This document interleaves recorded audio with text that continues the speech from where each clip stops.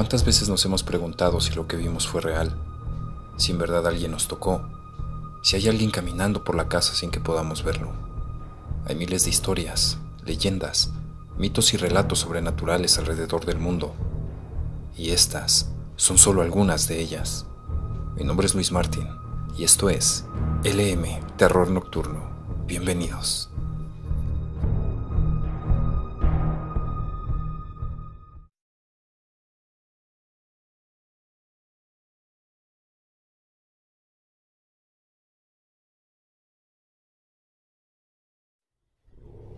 No salgas de casa.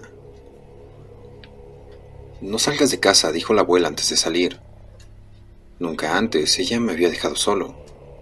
Ese día fue una excepción, por lo que tuvo que salir muy apresurada en busca de una vaca que se había escapado del corral. Mi abuela vivía en una hermosa casa de campo, donde me gustaba pasar los fines de semana.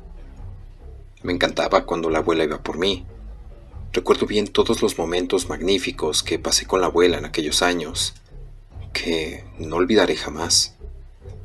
Ver el amanecer, desayunar con la abuela, echarles comida a los animales y sobre todo, cuando la noche llegaba, escuchar las historias de la abuela para ir a dormir. Tenía en ese entonces unos ocho o nueve años de edad. A pesar de mi corta edad, Recuerdo bien el día que la abuela dijo, no salgas de casa, cierra bien la puerta y no le abras a nadie.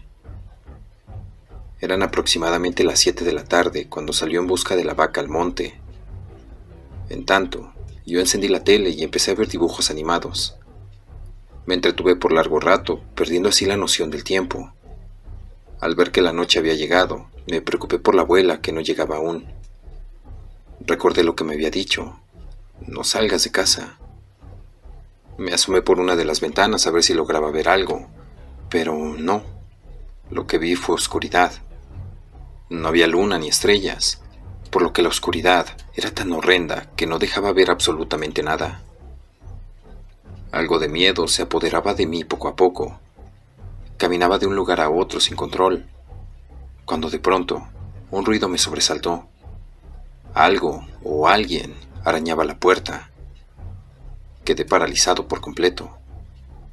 Me pregunté si debía o no abrir la puerta. Mi cuerpo temblaba como una hoja de papel.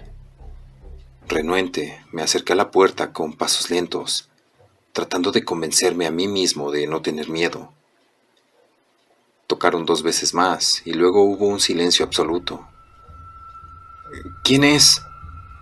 Pregunté con voz baja y no recibí respuesta alguna. Temeroso, abrí la puerta y, para mi sorpresa, no había nadie.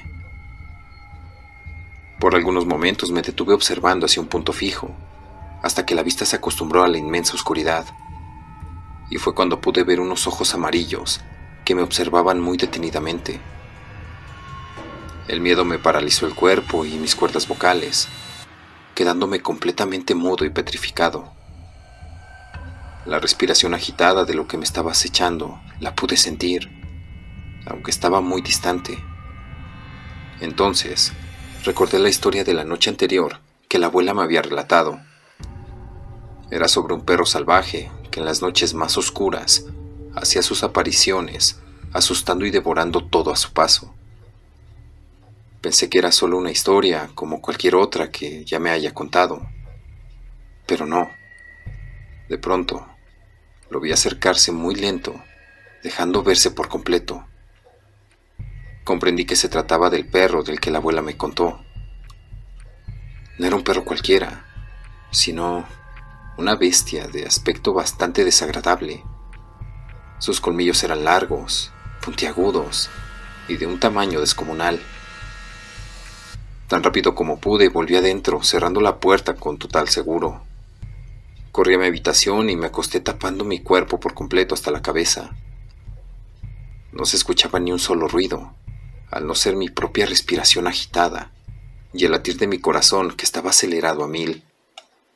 Luego, un ruido estremecedor se hizo presente en las tejas del techo, dejándome congelado. Fue ahí donde el verdadero terror se apoderó de todo mi cuerpo.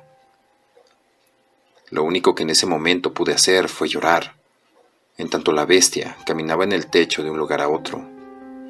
Ese ruido estremecedor logró que mi terror aumentara todavía más. Salí de la habitación y fui por el teléfono. Cuando estaba por llamar a mamá, olvidé por completo el número. Mis manos sudaban tanto que no pude evitar que el teléfono se me cayera, pegando contra el duro piso.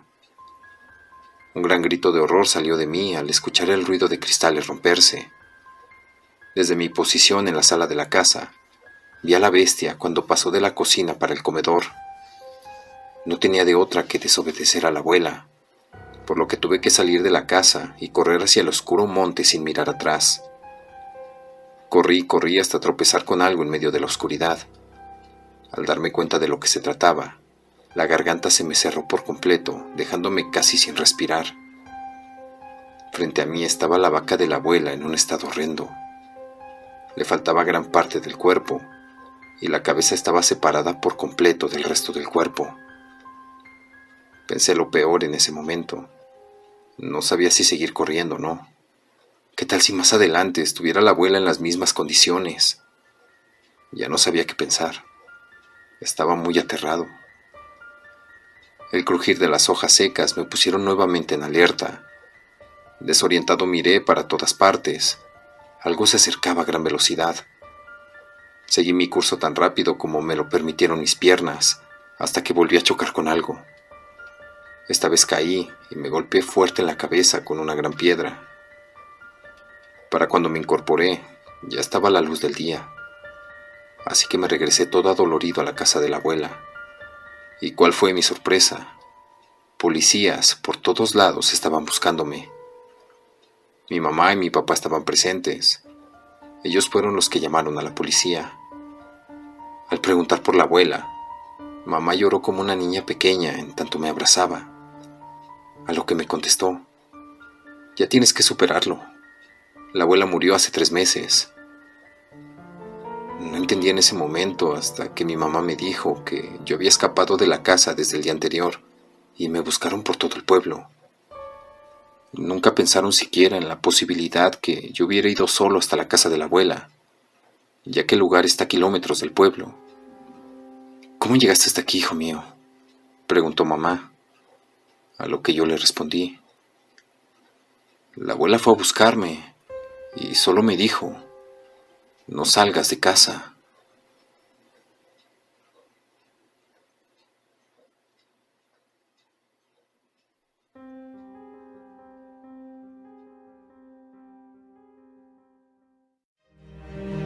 Si te ha sucedido algo paranormal, conoces alguna historia o relato que quieras compartir, envíalo al correo que aparece en pantalla, aportesterrornocturno.com.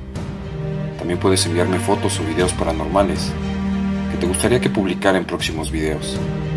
No olvides suscribirte, compartir, dar like y activar la campanita de notificaciones. Esto fue LM Terror Nocturno. Hasta el próximo video.